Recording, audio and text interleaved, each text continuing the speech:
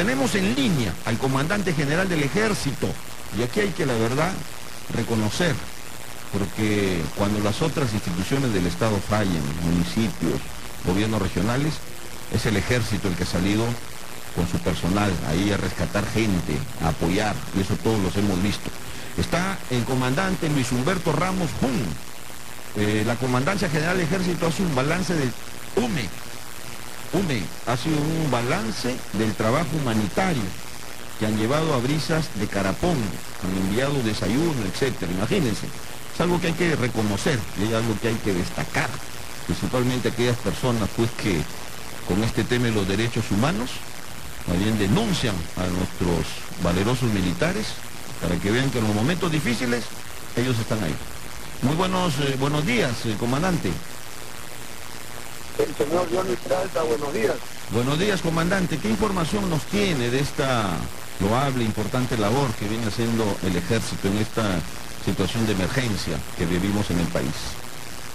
Como, como es reconocimiento de usted a través del ministro de Defensa, que estamos desplegados a nivel nacional, casi en toda la costa peruana y parte de algunos lugares de la tierra.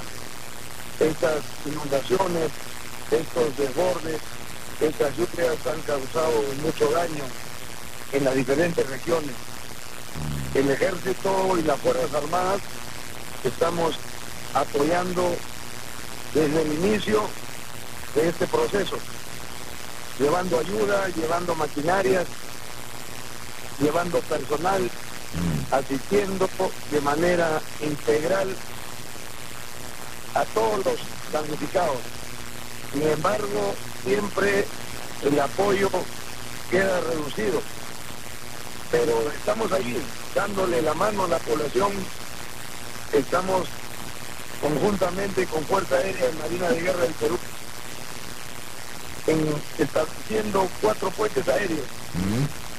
Actualmente en Piura, en Lambayeque, en Trujillo, en Chimbote y en Jauja.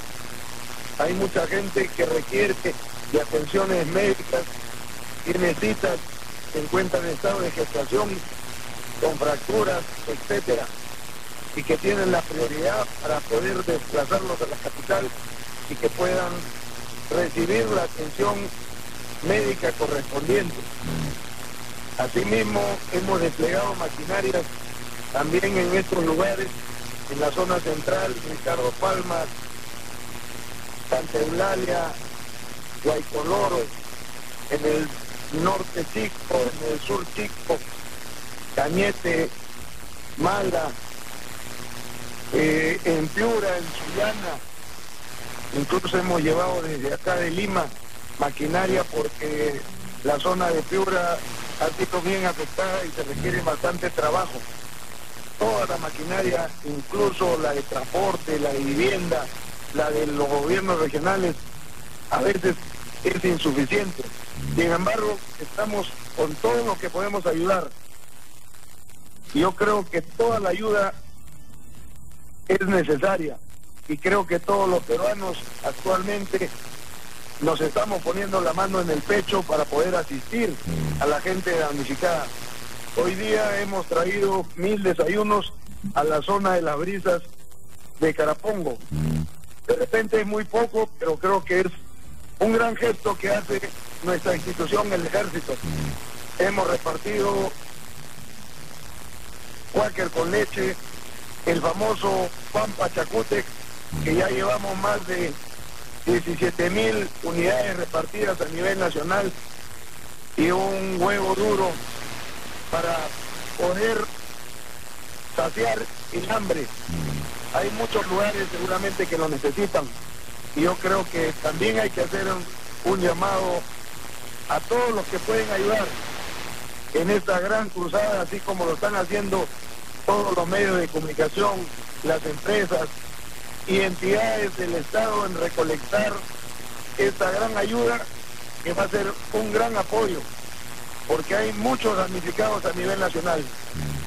La Marina de Guerra, la Fuerza Aérea y nuestro ejército estamos allí trasladando esa ayuda a esos lugares que más lo necesitan, a esa gente humilde que ha perdido todo. Y actualmente nos estamos desplazando a Cañaveral de Chosica para hacer una entrega de una donación que ha sido recolectada por Canal N y Canal 4. Hemos puesto la movilidad y, personal para que pueda llegar a los lugares donde de repente todavía no llega nada. Comandante Jun, eh, podemos decir que todo el ejército está en estos momentos dedicado al apoyo de la población en los momentos, en estos momentos de emergencia, de desastre. Hemos visto al personal de tropa, hemos visto incluso a los anfibios, ¿no? El personal de anfibios porque hay con la desesperación personas que incluso pasan quebradas, pasan los ríos. Y esas personas, pues, este, hemos visto personal militar ahí que es especializado.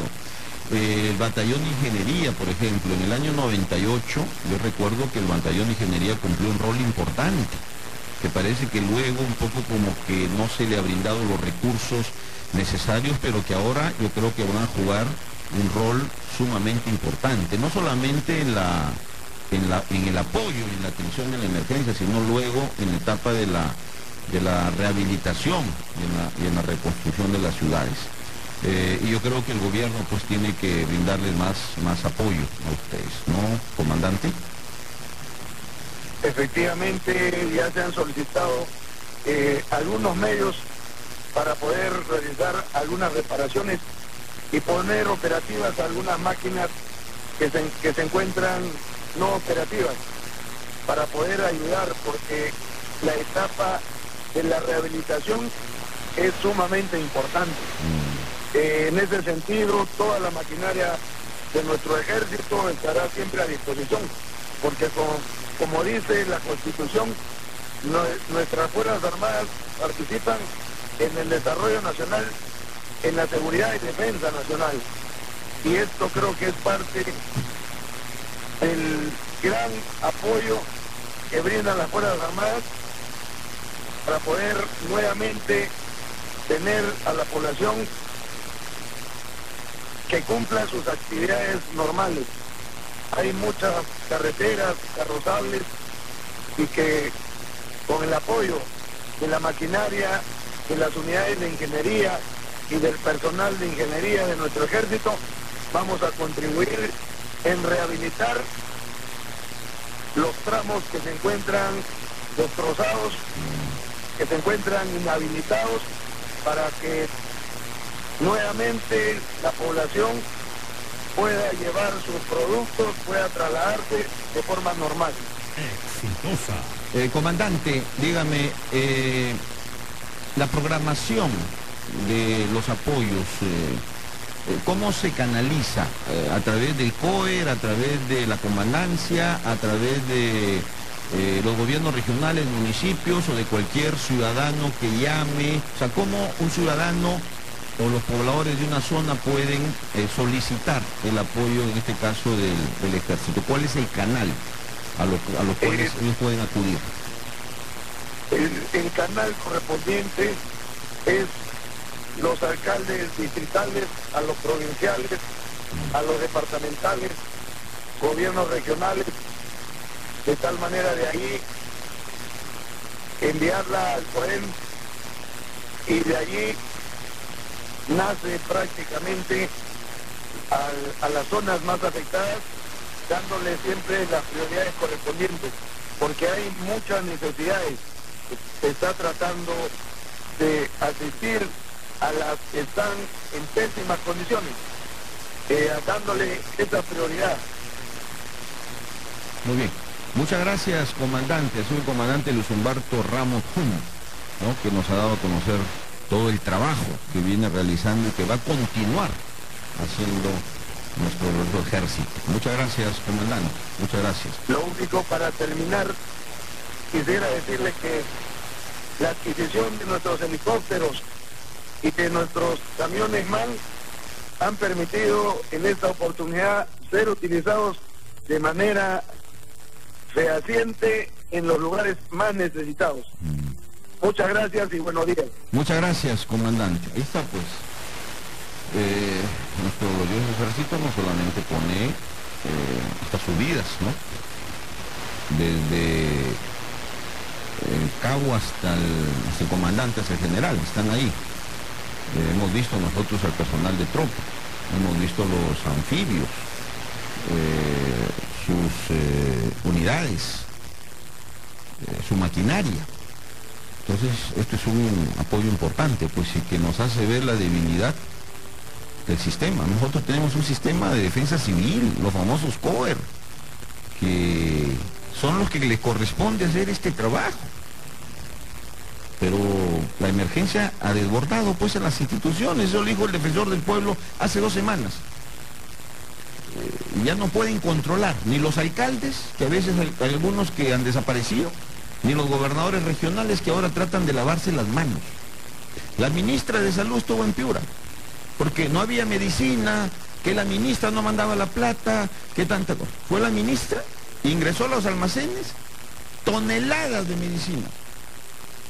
Y a las personas, los pacientes les recetaban otro tipo de medicina, que tenían que ir a comprar afuera, en pleno desastre. O si no, les recetaban la medicina que existía, entró la ministra y encontró incluso medicina vencida. Y antes de la lluvia ya habían quemado como cerca de un millón de soles en medicina. Entonces, ahora si quieren lavar la mano, pues el gobernador regional eh, va, ahora ah, ah, se han pronunciado, han ido pues este, el director de salud, que es el responsable de esto, a decir que la ministra ha sido una mentirosa. ¿Qué mentirosa si todo el mundo lo ha visto en la televisión, a nivel nacional? El dinero para la prevención, ni el 2 ni el 3% han gastado. Y estos son los resultados, pues. ¿A quién acudimos? Al ejército, a la FAC. ¿Qué es su función? No. Que no tienen la partida para enfrentar, pero ahí están. ¿No? Salvando vidas. Y los responsables, ¿no? Por ejemplo, fue un gabinete descentralizado en Piura, los ministros. ¿Cuál fue el primer anuncio? Que iban a dar 800 millones para la reconstrucción. Todavía no termina la etapa de emergencia y están hablando de reconstrucción. Han hecho una reunión en el Colegio de Ingenieros para ver quién va a hacer las obras de, de reconstrucción. Oye, todavía estamos en emergencia. Todavía las lluvias van a continuar en el mes de abril. Los ríos todavía se siguen saliendo. Las lluvias continúan y están pensando en qué empresas van a hacer. Hay algunos que decían, no, que sean empresas solamente de Piura, que no sean de Lima. O sea, yo digo que no tienen sentido común, que no ven lo que está pasando, que no ven que, no hemos salido de la etapa de, de emergencia. Todavía deberíamos estar viendo cómo enfrentamos este proceso de desastre de emergencia y ya están, ya están viendo quién va a manejar los, los 800 millones, ¿no? Se frotan las manos, le brillan los ojos, ya están viendo quién va a manejar esa plata. Y no van y no, no atienden a esta pobre gente de asentamientos humanos, de, de distritos que están aislados. En eso deben estar en estos momentos. Viendo cómo apoyan a esa gente. Y no reuniéndose para ver qué empresas, a qué empresas se les va a dar esos 800 millones para las obras de reconstrucción. La verdad que esto ya no tiene nombre. Y en vez de corregir, por ejemplo, en el sector salud, de reconocer los problemas que hay, no. Salen a decirle, la ministra es una mentirosa. No, acá está todo bien, todo perfecto. A ver, que llamen las personas que van a los hospitales. A ver, si es verdad que la ministra mentido. No podemos, pues, o sea, esa no es la forma de enfrentar la emergencia. Si no han hecho las obras o las han hecho mal, que decir, hay que pedir perdón, eso es lo que tienen que hacer. Luego, pedir disculpas, perdón. O por no haber hecho las cosas o por haber hecho mal. Pero no, en, plena emergencia, convocar reuniones, reuniones, reuniones para echarle la culpa al gobierno central. Que es verdad, también tiene responsabilidad. Pero en estos momentos todos tenemos que estar unidos para evitar que más familias se les venga la casa abajo, que el agua se meta a sus casas, que pierdan sus cosas y que el río se salga. En eso tenemos que estar. Llamadas telefónicas.